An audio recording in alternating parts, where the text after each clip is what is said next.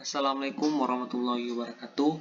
Kali ini kita akan membedah laporan ke laporan keuangan salah satu perusahaan yaitu PT ABMM Investama.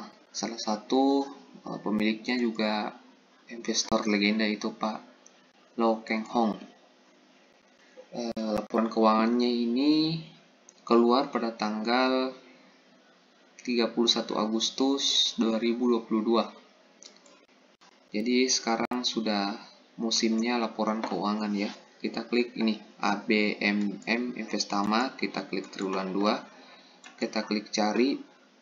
Nah, di sini sudah ada laporan keuangannya. Pilih saja yang ini teman-teman ya. Bentar. Semoga saya nggak salah ini. Coba klik ini. Semoga nggak salah. Nah, betul yang ini teman-teman Bentar, kita perbesar dulu.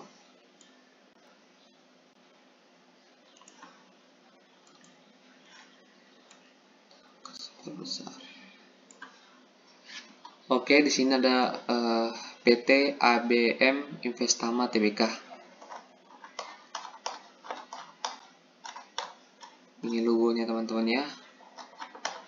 Uh, salah satu perusahaan yang bergerak di bidang pertambangan dan uh, Direktur utamanya ada Pak Ahmad Ananda Deja Janegara. Kita klik ke bawah. Kita coba klik sini. Sini ada. Oke. Nah, eh, kita mulai dari asetnya teman-temannya. Kita lihat di sini kas dan setelah kasnya dari tahun eh, 2021 sampai dengan sekarang 2022 bulan Juni eh, perusahaan BMM ini mengalami kenaikan eh, kas dan kasnya sejumlah 22,99%.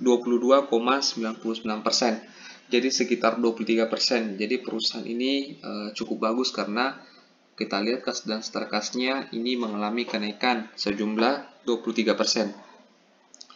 Eh, dari total asetnya sendiri juga mengalami kenaikan dari yang sebelumnya uh, hanya 1 miliar 30 1 triliun 36 miliar 704 juta 159 dolar. Oh ya, teman-teman, uh, ini dinyatakan dolar Amerika, Amerika Serikat. Jadi dolar Amerika Serikatnya saya berpatok ke harga per dolarnya itu 14.851.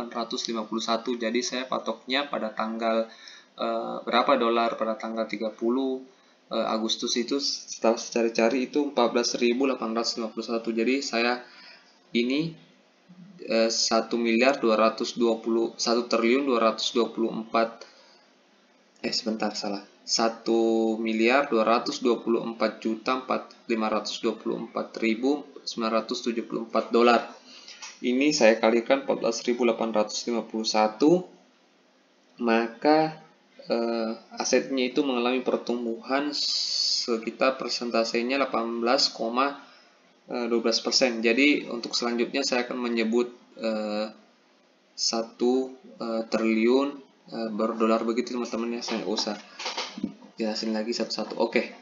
Setelah itu liabilitas. Liabilitasnya sendiri uh, untuk jangka pendeknya mengalami kenaikan uh, jangka panjangnya juga mengalami kenaikan. Jadi uh, dari tahun ke tahun uh, pada tahun 2021 liabilitas uh, perusahaan uh, ABMM ini 679.815.042 dolar.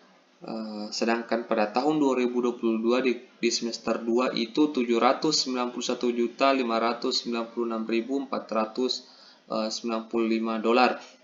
Jadi mengalami kenaikan debilitasnya sejumlah 6 sejumlah 16,44 persen.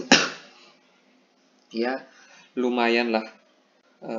Kenapa saya lumayan? Karena dari asetnya saja bertumbuh 18%, sementara utangnya 16%, jadi lebih kecil. Kita lanjut ke ekuitas. Ekuitas adalah modal bisa kita lihat uh, ekuitasnya dari ta tahun 2021 membukukan sejumlah 356.889.117 dolar.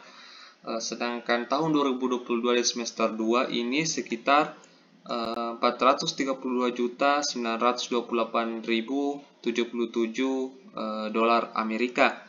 Jadi dari total penjualannya sendiri eh dari total eh, modalnya sendiri atau biasa disebut ekuitas itu mengalami pertumbuhan sejumlah 21,31%. Kita lanjut ke uh, pendapatan. Untuk pendapatannya sendiri, tahun 2021 hanya membukukan sejumlah 429 uh, juta 605 ribu 395 eh, dolar Amerika, sedangkan pada tahun 2022 itu 654 654 juta 209.993 dolar Amerika. Jadi mengalami pertumbuhan sejumlah 51,82 persen. Wow, cukup bagus teman-teman ya. Uh, sedangkan laba bersihnya sendiri, kita lihat di sini laba bersihnya